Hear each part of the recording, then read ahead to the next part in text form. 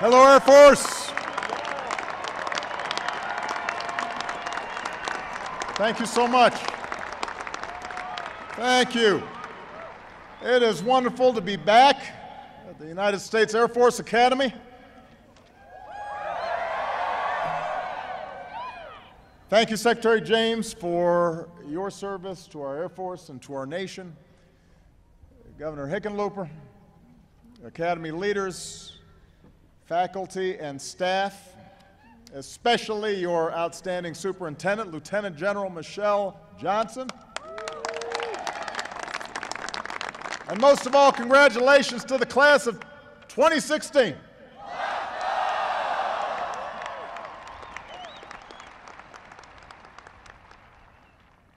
As he prepares to conclude a remarkable 40 year career in the Air Force, a career that started on this day 40 years ago. Please join me in saluting someone who many of you look up to and whose counsel I've relied on as well, Chief of Staff, General Mark Welsh. Thank you, Mark.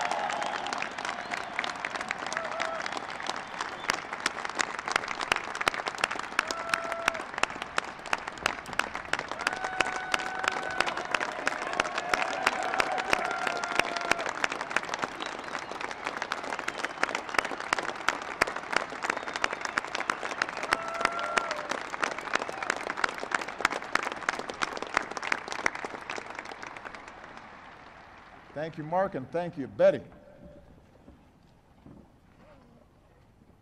And although he's not here today, uh, I am proud to have nominated another Academy graduate and a combat tested pilot to serve as the 21st Air Force Chief of Staff, General David Goldfein.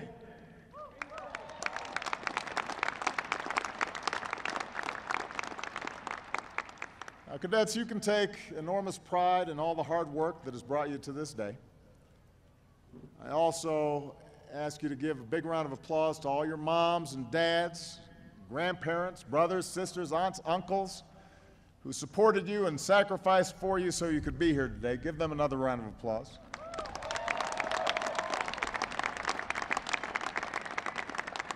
Now, I have to tell you, some days I spend more time with the Air Force than my own family, especially on Air Force One. You take good care of me. You are always on time. You never lose my luggage. I don't have to take on, off my shoes before I get on.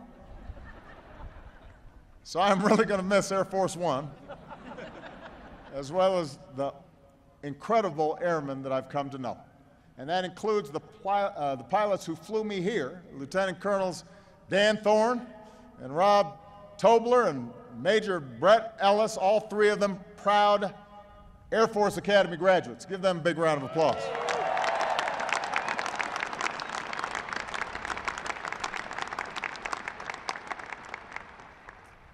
Now, this academy is one of our nation's most selective academic institutions. Just being accepted is a big deal, a testament to your talent and your leadership. And we are particularly grateful to those of you with prior enlisted service, including Cameron Kistler, who deployed to Iraq, Robert Parity and Clayton Logan, who deployed to Afghanistan, we thank you. Your country thanks you. Cadets, here you were tested by fire, literally. As when you went through Beast, as General Johnson noted, Waldo Canyon was actually on fire. During recognition, you ran to the rock in a blizzard. So you have more than earned your unofficial motto, forged in fire and tempered in ice.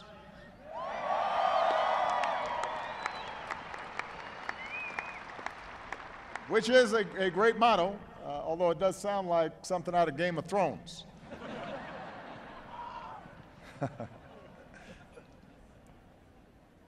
and through it all, you've become like family. You survived morning accountability formations, survived living in Sijan Hall.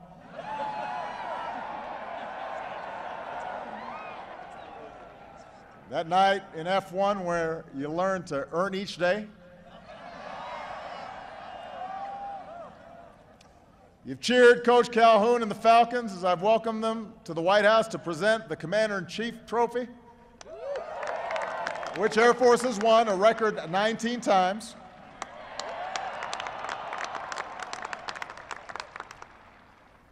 And I look out into your ranks and I see airmen who will excel as pilots and engineers, analysts, so many specialties. The first cyber graduates in this academy's history.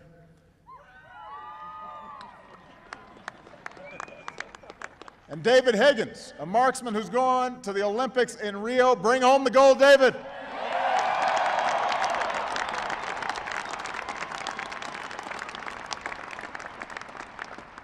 No pressure.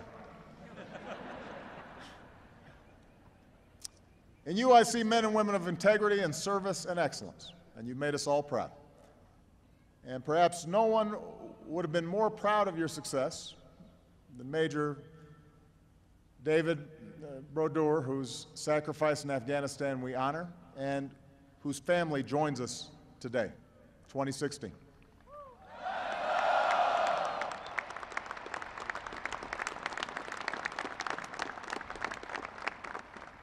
You've learned other lessons as well, like what happens when you paint one of the planes on the uh, terrazzo in your class color. With such achievements in mind, I hereby grant amnesty to all cadets serving restrictions and confinements for minor offenses, only minor. Today we congratulate our newest Air Force officers. And on behalf of the American people, I thank you for choosing a life of service. In the coming weeks, some of you will head to the chapel to get married. In the years ahead, you and your families will serve around the world. As officers, you'll be responsible for the lives of those under your command, and you'll be called upon to lead with wisdom, courage, and compassion.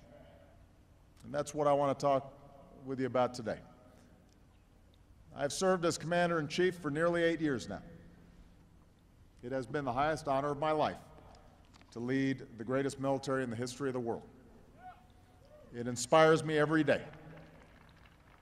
Today will be the last time that I have the honor of addressing a graduating class of military officers. And there's a debate going on in our country about our nation's role in the world. So, with that in mind, I hope you don't mind if I share some lessons I've learned as Commander in Chief. Lessons that you may find useful as you lead those under your command and as we work together to keep our nation strong and secure.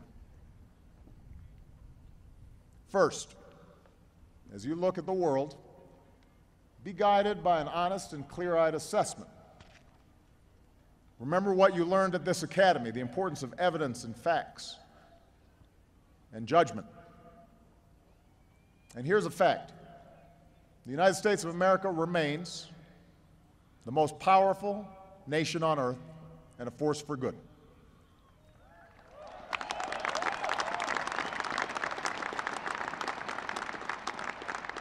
We have big challenges in our country, in our politics, our economy, our society. Those are challenges we have to address. But look around. We have the world's strongest economy. Our scientists, our researchers, our entrepreneurs are global leaders in innovation. Our colleges and universities attract the best talent from around the world. Our values, freedom, equality, opportunity, those values inspire people everywhere, including immigrants who come here ready to work and integrate and help renew our country. Our standing in the world is higher. And I see it in my travels from Havana to Berlin to Ho Chi Minh City, where huge crowds of Vietnamese line the streets, some waving American flags. So make no mistake, the United States is better positioned to lead in the 21st century than any other nation. And here's another fact our military is, by a mile, the strongest in the world.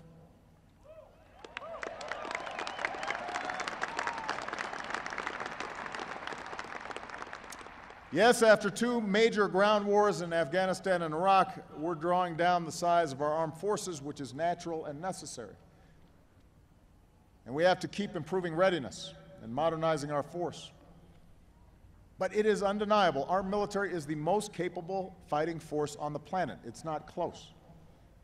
Our soldiers are the best trained, best equipped land force on earth, tested by years of combat, able to sustain power anywhere in the globe Nobody can match our Army. Our sailors serve on aircraft carriers that can go almost anywhere and submarines that move undetected. The largest and most lethal Navy in the world, on track to surpass 300 ships. Nobody can match our Navy. Our Marines are ready at a moment's notice, first to fight or deliver help in a crisis the world's only truly global expeditionary force. Nobody can match our Marines.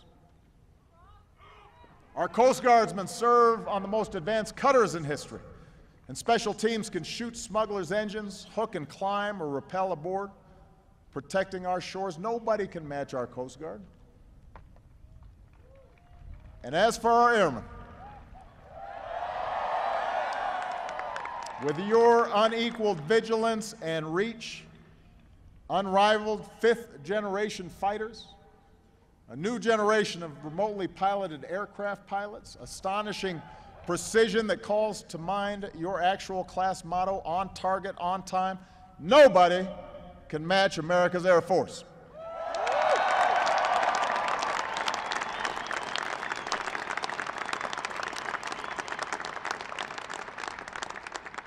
Not only that, no other nation brings its forces together like we do in one joint force, as we saw in an operation against ISIL in Syria just last year. Air Force aircraft provided surveillance. Navy F 18s provided close air support. Army aviation assets delivered our special operators, an assault force of Marines and soldiers to the target, and one of ISIL's top leaders, Abu Sayyaf, was eliminated. That's the power of America's military. And we need to keep it that way. And here's one more fact as you go out into the world we are blessed to be living in the most peaceful, most prosperous era in human history. Now, that sounds controversial until you survey the history of the world. It's hard to see with all the violence and suffering in the world and what's reported on the news every day. But if you step back for a moment, think about last week when I was in Hiroshima to remember all who were lost in a world war that killed some 60 million people. Not 60,000, 60 million. For decades, there have been no wars between major powers. Wars between nations are increasingly rare. More people live in democracies.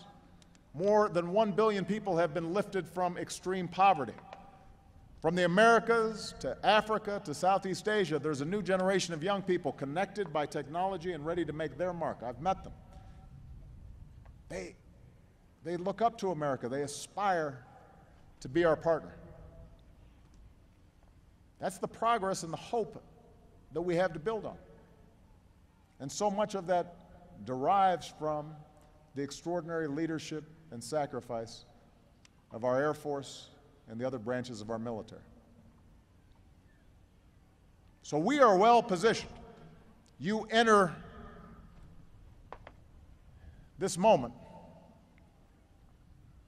with a lot of good cards to play. But we face serious threats. Terrorist networks slaughter the innocent and plot attacks against our nation. Civil wars, like in Iraq, tear countries apart and create humanitarian catastrophes and havens for terrorists. Russian aggression against Ukraine, disputes in the South China Sea, these are testing an international order that we built. where the sovereignty of nations is respected and all nations abide by the same rules. Nuclear weapons, as in South, uh, North Korea, and the specter of nuclear terrorism still threaten us all. So, how to meet these threats while also seizing the incredible opportunities of this moment in history? That's going to be your challenge. The challenge of your generation. Which leads me to a second lesson. As we navigate this complex world, America cannot shirk the mantle of leadership. We can't be isolationists. It's not possible in this globalized, interconnected world. In, in these uncertain times, it's tempting sometimes to pull back and to try to wash our hands of conflicts that seem intractable, let other countries fend for themselves. But history teaches us, from Pearl Harbor to 9 11, that oceans alone cannot protect us. Hateful ideologies can spark terror from Boston to San Bernardino. In a global economy, it's not possible to stop trading goods and services with other countries. Weak public health systems on the other side of the world allow diseases to develop that end up reaching our shores. So we cannot turn inward. We cannot give in to isolationism. That's a false comfort. Allowing problems to fester over there makes us less secure here. So, as, as, Americans, we have to keep leading and working with others to build the security and prosperity and justice we want in the world. By the way, one of the most effective ways to lead and work with others is through treaties that advance our interests. Lately, there's been a mindset in Congress that just about any international treaty is somehow a violation of American sovereignty. And so the Senate almost never approves treaties anymore. They, they voted down a treaty to protect disabled Americans, including our veterans, while Senator and World War II veteran Bob Dole was sitting right there in the Senate chambers in a wheelchair. We don't always realize it, but treaties help make a lot of things in our lives possible that we take for granted, from international phone calls to mail. Those are good things. Those are not a threat to our sovereignty. I think we can all agree on that. But also from NATO to treaties controlling nuclear weapons. Treaties help keep us safe. So, if we're truly concerned about China's actions in the South China Sea, for example, the Senate should help strengthen our case by approving the law of the Sea Convention, as our military leaders have urged. And by the way, these treaties are not a new thing. The power to make treaties is written into our Constitution. Our founding fathers ratified lots of treaties. So it's time for the Senate to do its job and help us advance American leadership rather than undermine it.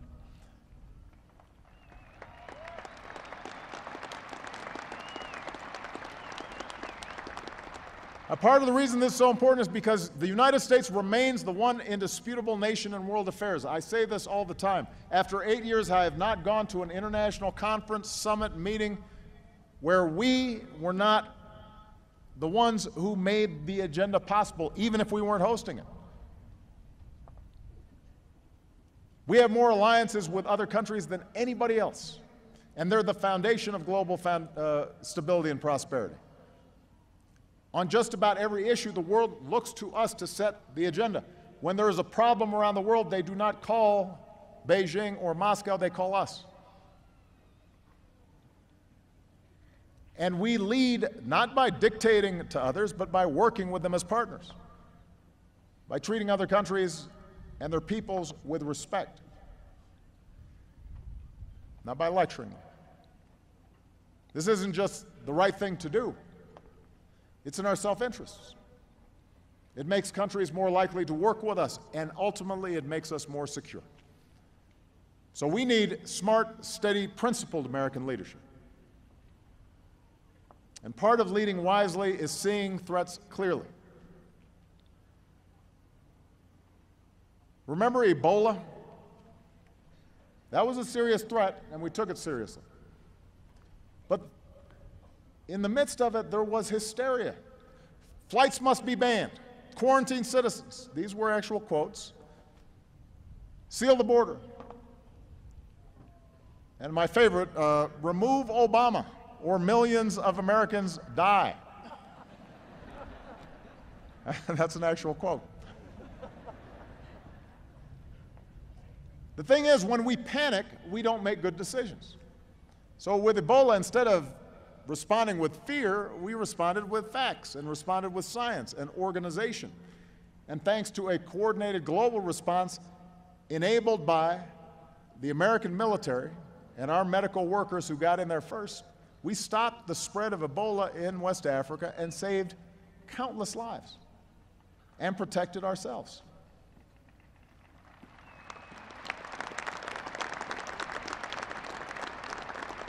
So, we've got to engage with the world. We can't pull back. Of course, leading wisely also means resisting the temptation to intervene militarily every time there's a problem or crisis in the world.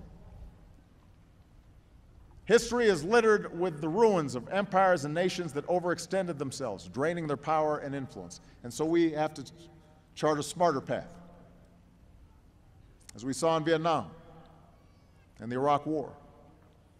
Oftentimes, the greatest damage to American credibility comes when we overreach, when we don't think through the consequences of all of our actions.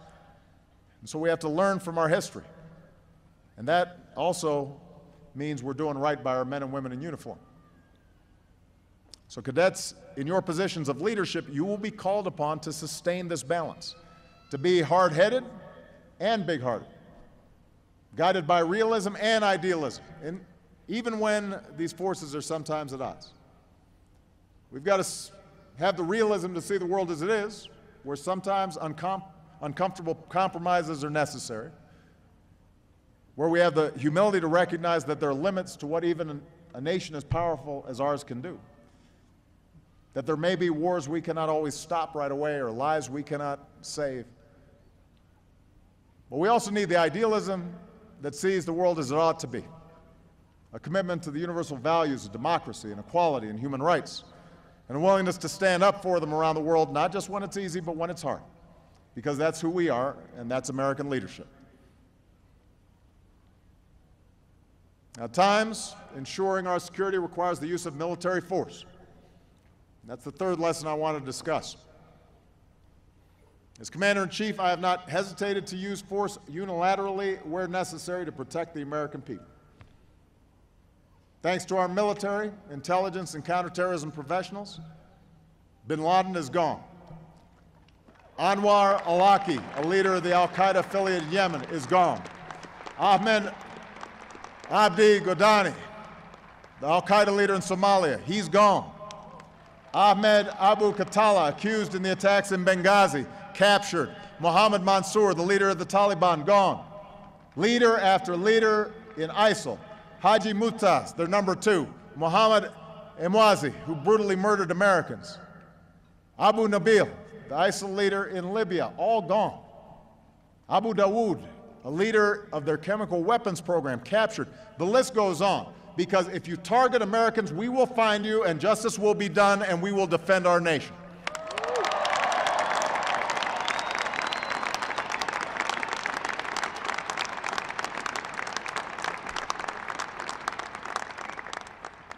But even as we celebrate the courage of our troops who serve in war,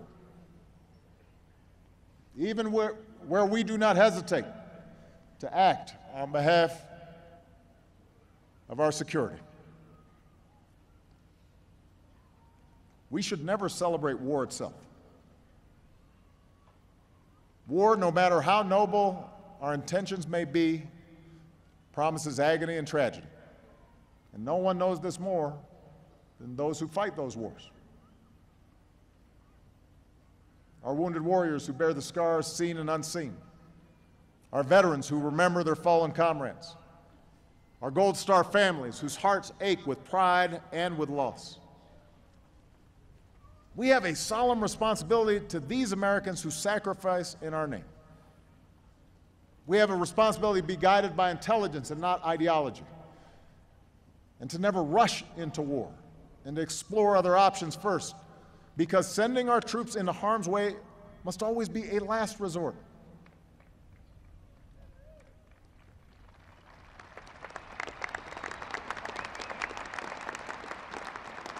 And sometimes those decisions are tough. I know, for example, that my decision not to conduct strikes against Syria after it used chemical weapons was controversial among some in Washington. But because we seized a diplomatic option backed by our threat of force, nations came together and we accomplished far more than military strikes ever could have. All of Syria's declared chemical weapons were successfully removed. And in acting militarily, we have a responsibility whenever possible to build coalitions and partnerships. There are times where we have to do it alone.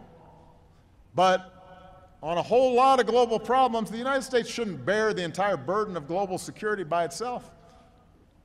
Others have to step up. That's why, as we assist and train Afghan forces, we're part of a 39 nation coalition. Our coalition against ISIL includes 66 partners, including Arab nations. We've learned that often the best way to defeat terrorists is not by sending large numbers of American ground forces to occupy and patrol foreign cities and towns. It's better to train and build up local partners. They're the ones who have to stabilize their own countries over the long term.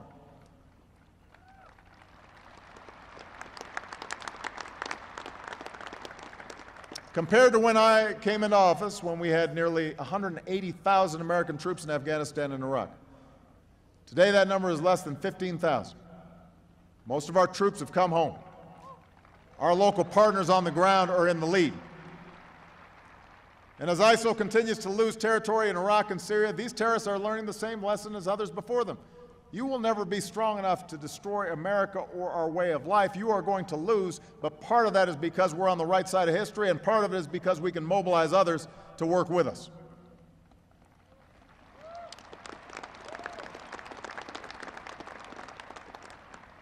When we use force, we have a responsibility to use it proportionally. Unlike terrorists who try to kill as many people as possible, the United States military goes to extraordinary lengths to avoid civilian casualties.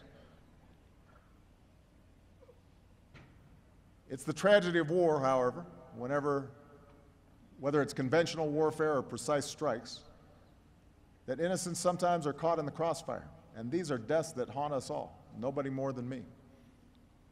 As technology evolves, we can never grow numb to the consequences of our actions. We have to hold ourselves to high standards, be even more transparent, and do everything in our power to prevent the loss of innocent life. That's how America goes to war, and that's how ultimately America also wins the peace.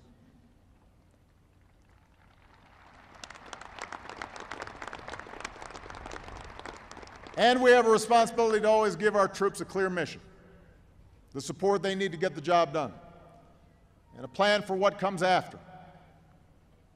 I insisted, for example, that our surge of forces in Afghanistan be matched with a transition to ensure Afghans took responsibility for their own security. In Libya, we were right to launch an air campaign to prevent Gaddafi from massacring innocent civilians, but we didn't do enough to plan for the day after, when deep rooted tribalism plunged Libya into disorder. In Syria, the suffering in the civil war has been heartbreaking. To see a nation shattered and hundreds of thousands killed and millions driven from their homes. It is gut wrenching. And as a father, I look at Syria's children and I see my own. That's why we've said the dictator Assad must go and why we support a moderate Syrian opposition. And it's why America provides more humanitarian aid to the Syrian people than any other nation. But suggestions for deeper U.S. military involvement in a conflict like the Syrian civil war have to be fully thought through, rigorously examined with an honest assessment of the risks and trade offs. How will it alter the conflict? What comes next? When we ask those questions, we prevent the kind of mission creep that history teaches us to avoid. If Iran and Russia want to spill their blood and treasure trying to prop up their Syrian client and get sucked into a quagmire, that is their choice. As President of the United States, I've made a different choice. And the only real solution to the Syrian conflict is a political solution, including a transition away from Assad. And that takes diplomacy. Not American soldiers being dragged into the middle of another civil war in the Middle East. Our foreign policy has to be strong, but it also has to be smart.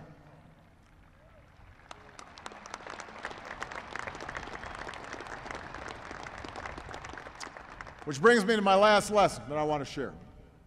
as powerful as our military is, we have to remember that many of the threats to our security cannot be solved by military force alone. We've got to draw on every tool, all elements of our national power. When we invest in the development that promotes education and opportunity around the globe, it can make conflicts and military interventions less likely later. So if you want to support our military, you also have to be in favor of foreign assistance that helps some young person learn in a very poor country, because it may end up making it less necessary to send our sons and daughters somewhere to fight. You can't separate the two.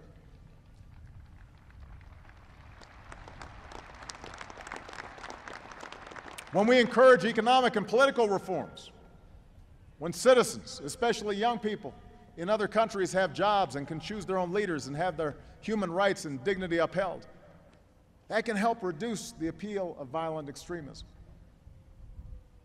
We now have hope of averting the worst effects of climate change and the instability that would threaten our national security because American leadership helped rally the world and forge the most ambitious agreement in history to fight climate change.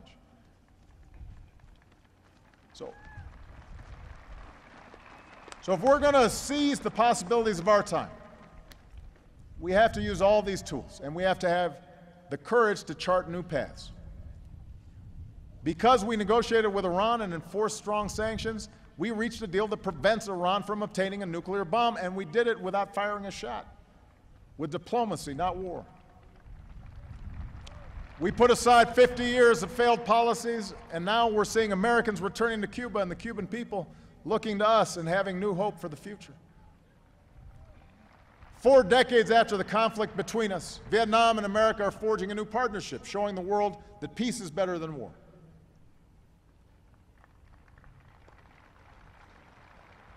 And perhaps no element of our power is more enduring than the example that we set ourselves, the values we live as a nation and as individuals.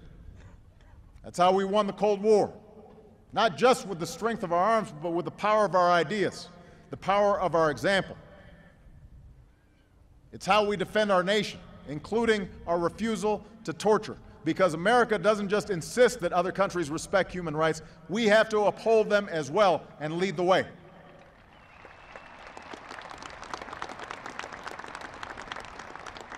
It's how we treat those we capture. It's one of the reasons we have to close the prison at Guantanamo, because America has to stand for rule of law. We live our values when our military, like America itself, truly welcomes the talents of all people. We're stronger when our gay and lesbian cadets and troops can serve their country, a country they love without hiding who they love. We're stronger when cadets, like Wasim Soomro and Ismail Bayoumi and James Salem, know that we celebrate their service as proud, patriotic Muslim Americans who are also serving in our armed forces.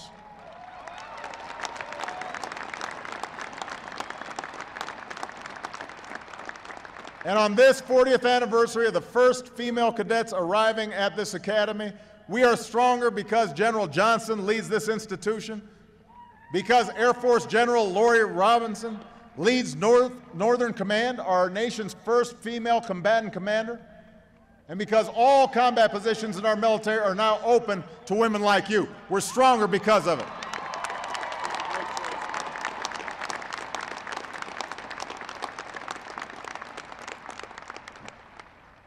So there you have it. A few thoughts from your commander in chief on how to keep our military strong and our nation secure. We can never know what the future holds. But in the not so distant future, when I'm no longer president, I will sleep well at night because I know that men and women like you serve to keep us free. Take care of each other, take care of those under your command, and as long as you keep strong that long blue line, Stay true to the values you've learned here integrity, service before self, excellence. Do this, and I'm confident that we will always remain one nation under God, indivisible, with liberty and justice for all. Congratulations, class of 2016. God bless you all. God bless the United States of America.